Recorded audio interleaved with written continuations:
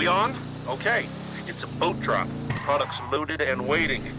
Uh, they'll pay more for it if you get it to them quick, so get on over to the dock.